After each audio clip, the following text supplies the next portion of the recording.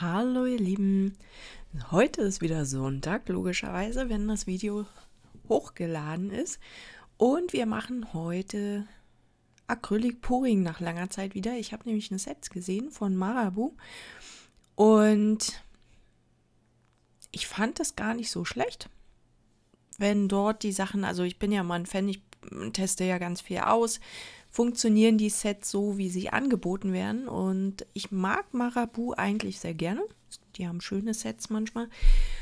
Und ich dachte mir, ich probiere es einfach aus. Und ich habe mir zwei Sets geholt. Ich werde jetzt heute aber auch nur das eine Set ausprobieren, einfach weil es, wie gesagt, für mich ist halt immer das Ganze noch ein bisschen ein Nebenhobby und weil ich ja einen Hauptjob habe und dementsprechend ist das dann für mich auch vollkommen entspannt.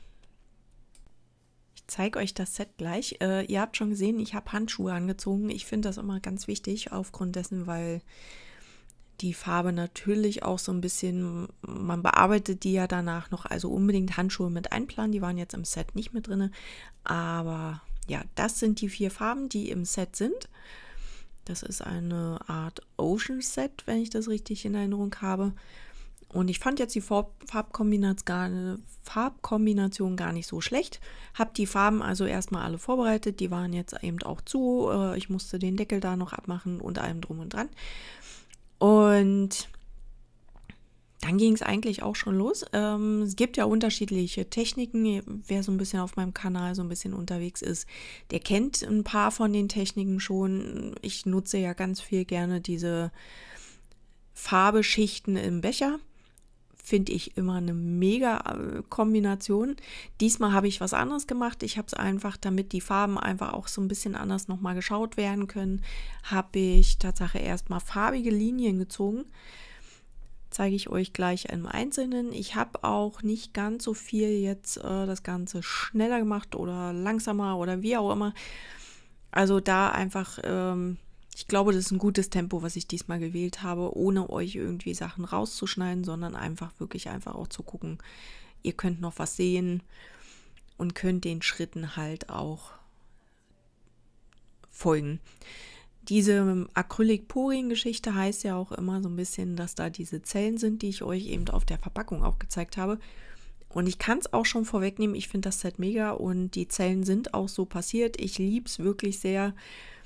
Und dadurch ist es für mich, glaube ich, ein Set, was man so auch gut nutzen kann zum Ausprobieren, zum Schauen.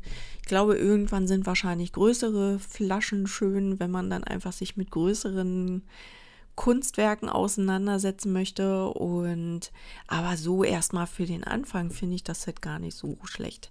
Wie gesagt, ich habe jetzt einfach ein paar Linien immer gezogen mit jeder Farbe. Ähm, war für mich jetzt frei Schnauze. Und dementsprechend, wie gesagt, auch das durchschöne Dunkelblau finde ich mega schön und es hat auch einfach einen ganz, ganz, ganz schönen Effekt gemacht. Und ja, diesmal verlasse ich es wirklich verlaufen. Ich, ähm, ich habe es auch mit dem Saber noch dazu genommen. Auch das zeige ich euch natürlich. Das hier im Video auch zu sehen, wie ich es mache. Und das hatte ich schon mal mit einer Feder gemacht, in so in der Art.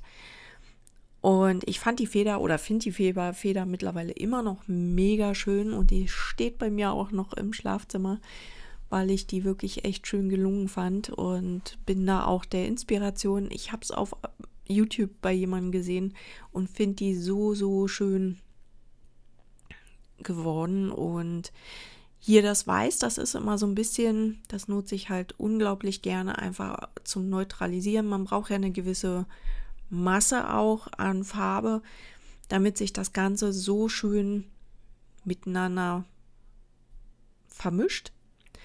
Und es, mein Problem ist ja meistens, das habe ich auch in den anderen Videos immer gesagt gehabt, ich nehme oft zu wenig Farbe. Diesmal hat es eigentlich ganz gut funktioniert, muss ich mal sagen. Fand ich jetzt gar nicht so schlecht aber ist natürlich immer schwierig zu handeln. Ich bin da jetzt niemand, der jetzt so extrem zu viel nimmt. Das habe ich noch nie gerne gemacht und äh, werde ich wahrscheinlich aus meinem Muster auch nicht wirklich rausgehen. Aber ich lasse die Farbe jetzt auf jeden Fall erstmal verlaufen ein bisschen, damit so ein bisschen schon mal Muster reingeht und das Ganze dann so ein bisschen sich verteilt. Das ist einfach so das Spannende bei Acrylic-Pouring. Das ist so ein wunderschöner Prozess immer. Das hat was von Epoxidharz, wo man nie weiß, wie es wirklich aussieht. Man weiß auch nie, welche Farbe sich jetzt in dem Ganzen durchsetzt. Klar, es gibt die Profis, die sehen das sofort, ne? Ah ja, das muss ich jetzt so und so machen, dann kommt die Farbe mehr raus. Ich nicht. Und ich glaube, das passiert ganz vielen Menschen und die Ergebnisse sind auch so individuell, weil die Farben einfach so fließen, wie sie gerade wollen oder wo man sie hinschubst, aber man hat, also ich zumindest immer nicht ganz so viel Kontrolle, wie ich es mir vielleicht manchmal wünschen würde.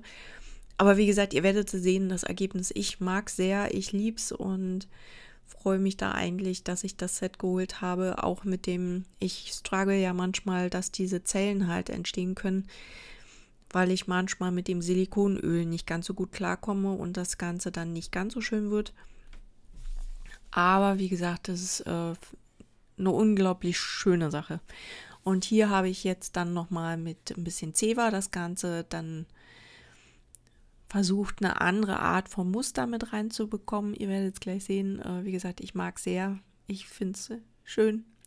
Und man sieht dann auch schon, wie die Zellen sich dort bilden und dass da einfach so was Wunderschönes passiert. Ich hatte zwischendrin gedacht, okay, die eine Seite hätte ich vielleicht jetzt so nicht machen sollen, aber das war dann auch vollkommen okay, so wie ich es gemacht habe, weil wie gesagt, ich mag das Ergebnis.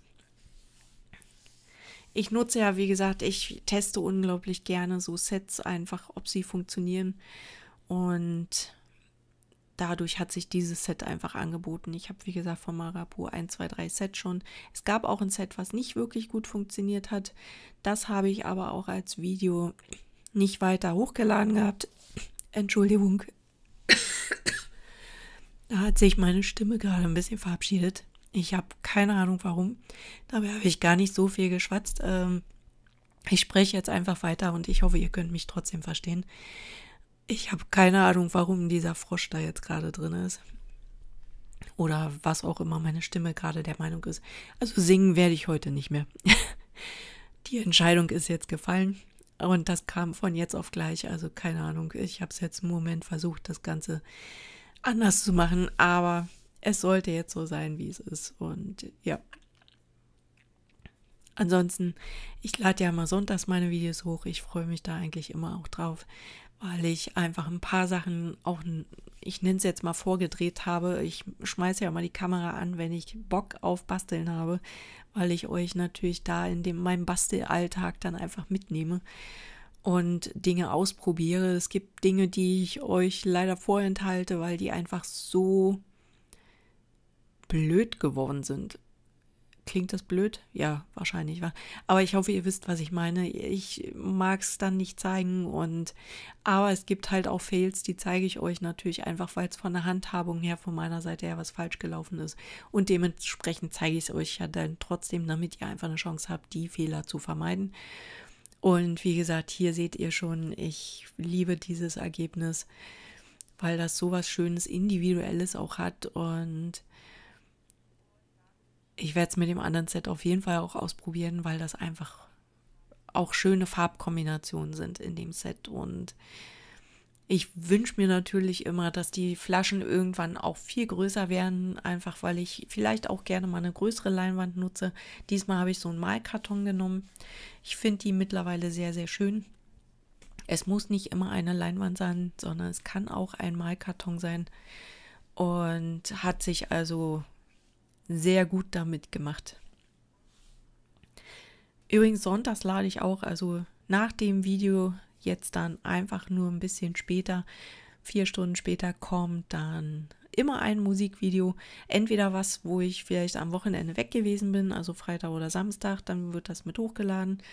Oder halt eben eine Konserve, wo ich halt die Lieder einzeln hochlade und weil die Gesamtvideos lade ich immer zuerst hoch und irgendwann dann immer so Schritt für Schritt werden einzelne Lieder hochgeladen und dann ist das irgendwie so ein bisschen, nicht jeder mag immer zwei Stunden Videos schauen, sondern dann sind es die Lieder einzeln und jeder darf sich das Lied raussuchen, was er gerne sehen möchte oder hören. Je nachdem. Ich habe mir immer eine, ich muss meine Playlist mal wieder aufräumen. Ich äh, mache, wenn ich zum Beispiel Musik hören will, ich äh, höre mir oder sehe mir ja auch gerne die Videos selber auch immer nochmal an, weil es eben Erinnerungen für mich sind. Und dann mache ich es einfach äh, die in die Playlist und dann kann ich die alle durchspielen und dann freue ich mich da einfach auch sehr drüber ja, ich habe das äh, jetzt aktuell noch so ein bisschen liegen gelassen dort, äh, damit ihr so ein bisschen seht, wie es da aussieht. Und ich zeige euch jetzt gleich auch nochmal das äh, getrocknete Ergebnis. Ich finde das Set super, also dementsprechend freue ich mich da dann einfach das nächste auszuprobieren. Deswegen auch mein Daumen nach oben. Und ja, ihr seht jetzt gleich noch das Ergebnis und ich hoffe, euch gefällt es genauso wie mir und im Zweifel gerne einen Kommentar, einen Daumen nach oben, ein Abo dalassen. Ich freue mich, wie gesagt, sehr und freue mich, dass wir fast 800 haben und dementsprechend, dass es da einfach schon Leute gibt, die entweder beim Basteln zuschauen wollen oder bei der Musik und lieb's einfach sehr. Ich wünsche euch erstmal einen wunderschönen Sonntag und ich hoffe, ihr seid beim nächsten Video mit dabei und ich hoffe dann auf ganz bald. Bis dann. Tschüss.